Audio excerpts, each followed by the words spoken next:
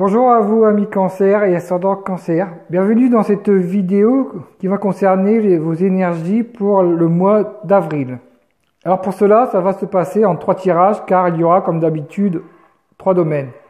Avec un premier tirage avec ces cartes qui concernera le domaine sentimental. Ensuite, nous passerons au domaine professionnel avec cela et nous finirons avec le financier. N'hésitez pas après avoir vu le sentimental, à regarder le professionnel et, également le, j'allais dire surtout, mais également le financier, car euh, même si euh, vous pensez que pour le moment ça ne vous parle pas, ça pourrait vous concerner. Vous allez me dire, forcément, vu que je suis cancer ou ascendant cancer, mais euh, des fois, comme vous savez, le domaine peut, tout comme le sentimental, peut pour le moment ne pas vous concerner. Et pour cela, et eh bien sans plus attendre, nous allons commencer, nous allons voir tout de suite ce que le tirage nous prédit au niveau sentimental tout d'abord. Pour vous, cancer, ascendant cancer, si vous n'êtes pas encore abonné à la chaîne, n'hésitez pas à vous abonner, à mettre un pouce, un commentaire pour une, une guidance, que ce soit pour le domaine sentimental, professionnel ou financier, ou alors pour une consultation. Pour cela, je vous invite à me contacter soit par Facebook, soit par mail. Tous les liens seront dans la description sous la vidéo. Et maintenant, eh bien, parlons sentimental. On nous parle justement euh, après un break, après une coupure. Alors, dans un premier temps, c'est vrai que break, coupure, c'est soit vous faites un break dans une relation, soit vous faites une coupure. Et là, on me parle de euh, une relation dans laquelle, eh bien, pour vous, c'était une coupure. Pour vous, euh, vous ne voulez plus entendre parler de la personne. Mais au final, eh bien, vous voyez, on parle d'une certaine emprise. Emprise, ça peut être négatif, mais euh, là, c'est dans le sens positif.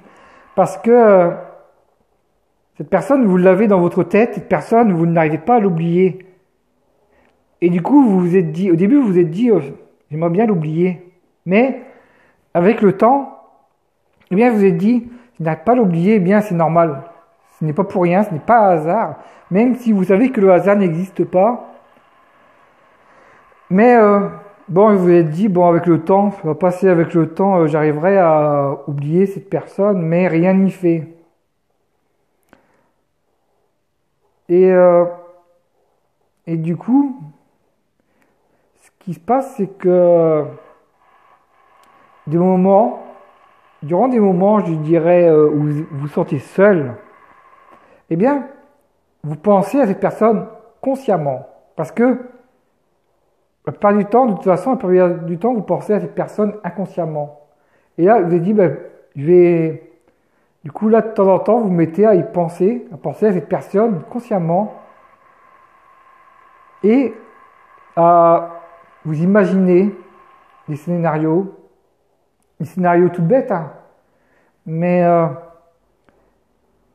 par exemple, euh, ce que vous feriez, ce que vous aimeriez euh, qu'il vous qu'il fasse, mettons à certains moments, c'est-à-dire peut-être qu'il y a des moments où vous êtes seul et que vous dites ah ben là, ce serait bien que j'aurais bien aimé que qu'il soit à côté de moi et qu'il me parle, qu'il me prenne dans ses bras. Parce qu'il y a souvent des moments où vous vous sentez seul et vous n'avez pas trop de morale, et dans ces moments-là, eh bien, consciemment, vous pensez à cette personne. Et euh, vous voyez, il y a un mélange entre l'inconscient et le conscient. Parce qu'à force de penser à cette personne inconsciemment, eh bien, de temps en temps, vous vous autorisez à penser à cette personne consciemment. Parce que vous vous dites, étant donné que je pense beaucoup à, que inconsciemment je pense à cette personne, autant de, autant le faire de façon consciente.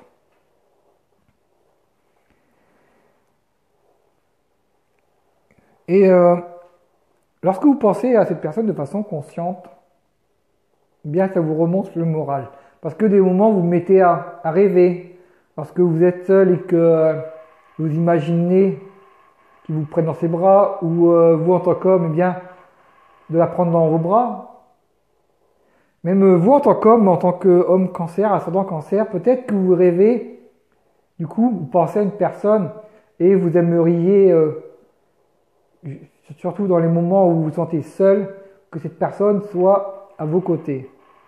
Même si euh, vous êtes bien seul, mais on est bien seul, mais il y a des moments où on aime bien forcément avoir de la compagnie, de ce qui est normal.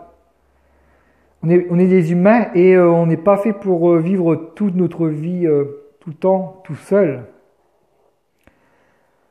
Et là, eh bien, de toute façon, à chaque fois, pas, vous pensiez à cette personne qui vous prenne dans vos bras, enfin dans ses bras, qui vous réconforte par ses mots, par ses gestes, par sa tendresse, par... Euh, vous voyez, il y a des moments également où, euh, vous aimeriez, vous auriez aimé qu'il soit à côté de vous pour lui demander des conseils.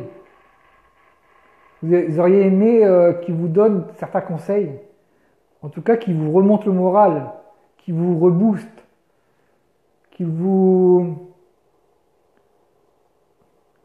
qui vous donne, comme on dit, du peps.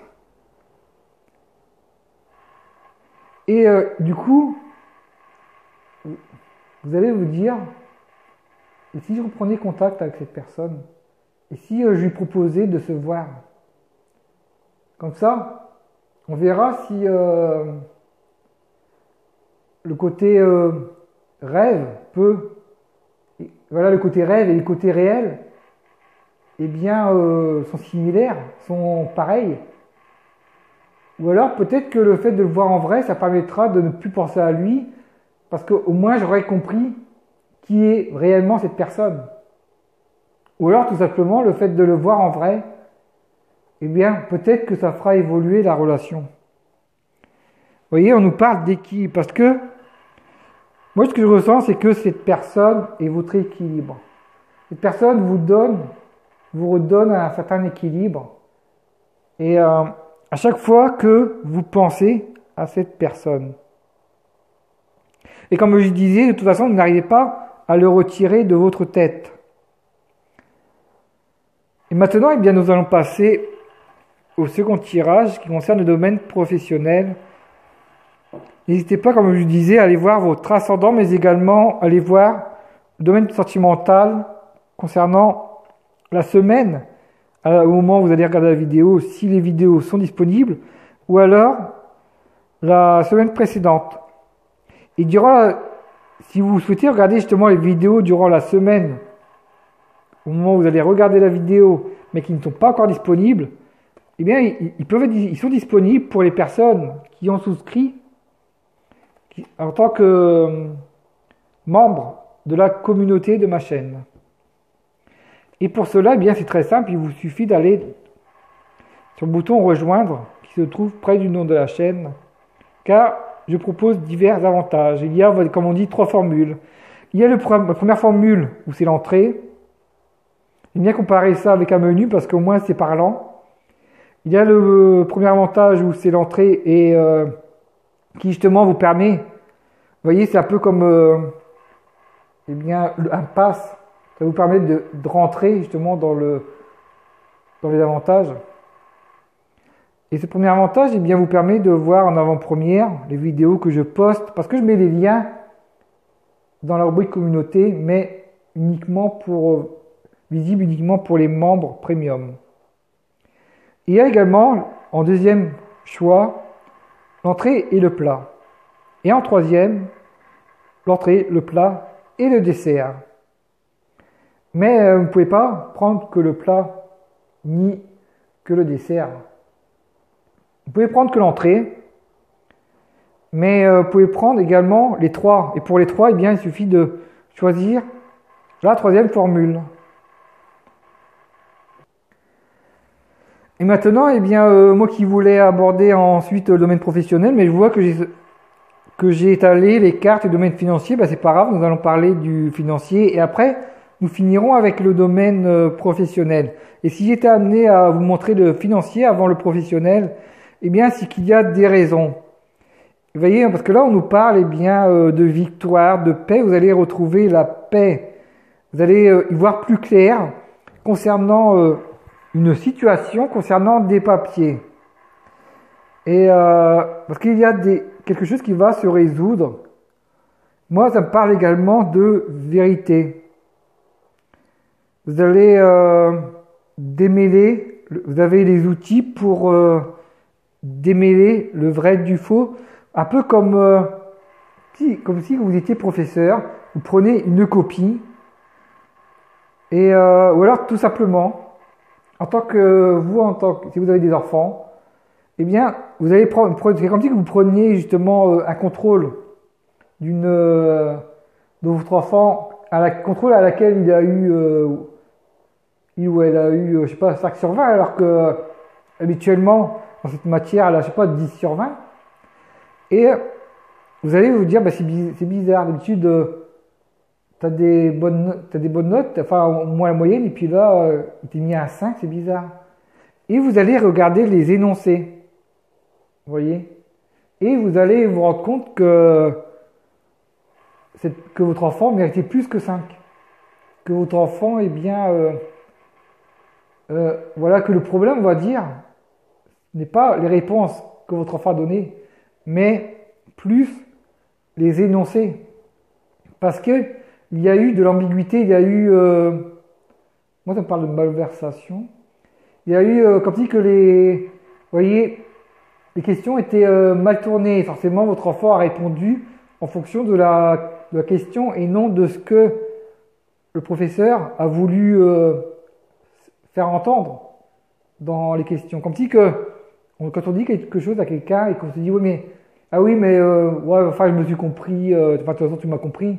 Et là c'est comme si que votre enfant a dû comprendre ce que le professeur eh bien euh, a voulu voulait comme réponse, voulait comme euh, explication dans dans l'énoncé. Et là concernant les documents, vous voyez il est possible que récemment vous avez signé un document en rapport avec euh, peut-être un crédit, peut-être un achat important, mais que vous n'aviez pas lu, on va pas dire les petites lignes, mais j'ai envie de parler des moyennes lignes. Parce que comme si vous n'avez pas tout lu, mais qu'en même temps c'était pas clair. Ou alors il y avait, euh, je sais pas, des astérix, et vous vous êtes dit en voyant les astérix, euh, bah euh, voilà, pas besoin de voir en petit, de toute façon je sais ce que ça veut dire. Euh, Dieu sait que quand dans ces moments, dans, quand c'est comme ça, forcément, il faut pas s'attendre à, faut pas s'attendre à quelqu'un de quelque chose de d'extraordinaire. Mais au final, vous auriez dû lire les, euh, ce qu'il y a écrit en petit, en astérix, et qu'au final, eh bien, vous allez, euh, j'ai l'impression que justement, vous allez euh, annuler le peut-être un achat, vous voyez, un accord, un compromis. Mais en tout cas, finalement, vous allez vous rétracter par rapport au document que vous aviez pourtant, vous, avez, vous voyez que vous pensiez avoir bien lu, mais on y... Le fait que vous êtes euh, replongé dedans par, euh, par instinct, par euh, votre sixième sens qui vous a dit euh, votre petite voix, regarde le document, à mon avis, euh, t'as pas dû euh, tout lire, t'as pas dû bien, t'as pas dû tout comprendre. Et là, comme si que justement, c'était à, que pour l'entreprise, c'était à vous de bien comprendre ce qui était marqué et que si tout n'était pas clair, euh, ce n'était pas la faute de l'entreprise, mais que ce serait plutôt de votre faute et, et blablabla, comme on dit. Et maintenant, eh bien, nous allons passer au côté professionnel. Vous voyez, on nous parle de méfiance, vous vous êtes méfié. Même si au début vous avez signé le document, vous étiez quand même méfiante. Mais en croyant avoir bien lu, vous êtes dit, voilà, de toute façon j'ai bien lu. Et euh, moi qui justement, euh, quand j'ai pas l'habitude de me faire avoir, comme je suis très méfiante, très méfiant, eh bien là c'est bon, j'ai bien lu. Et normalement tout, est ok. Et au final, vous vous êtes rendu compte justement que vous n'avez pas vraiment bien lu. Ou alors vous avez lu ce que vous avez pensé eh bien, être utile de lire. Maintenant, eh bien, euh, nous allons passer aux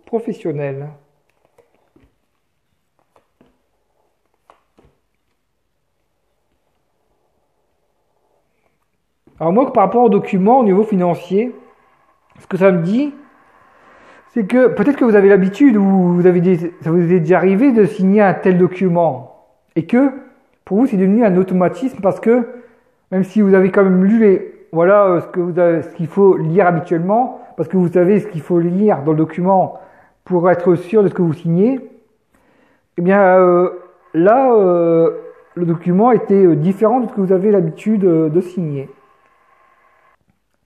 Et eh bien maintenant place au troisième tirage, qui habituellement est le deuxième, mais là c'est devenu du coup le troisième, qui concerne le domaine euh, professionnel. Et euh, au niveau euh, professionnel, eh bien, on nous parle, vous voyez, de CDI et de justice. Alors peut-être que justement vous allez vous gagner en justice par rapport moi, dans premier temps, ça me paraît que vous allez gagner en justice par rapport à votre employeur ou à un ancien employeur. Vous voyez, enfin, ancien employeur, peut-être un employeur euh, que forcément, depuis le temps, vous avez retrouvé du travail, mais euh, c'est quelque chose qui a traîné depuis bien longtemps, depuis euh, peut-être 5 ans. Et que là, enfin, eh bien, justice sera faite et euh, vous aurez la reconnaissance. Comme si qu'il y a également, moi je ressens, ça va finalement la justice vous a cru, a cru à votre euh, témoignage. Et on me parle euh, également, vous voyez, on me parle à, nouveau d'équilibre, tout comme dans le domaine sentimental.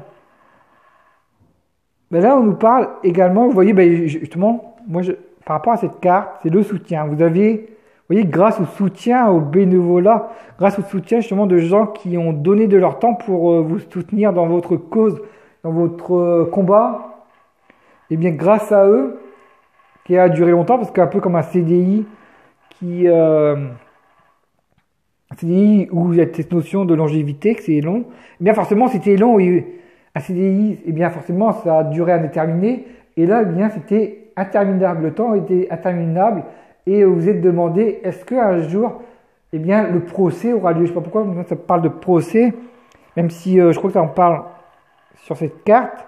Mais vous voyez là, c'est principalement par rapport à un procès. Et vous êtes demandé si euh, ça va pas finir aux oubliettes, si finalement ils n'ont pas déjà classé euh, justement l'affaire.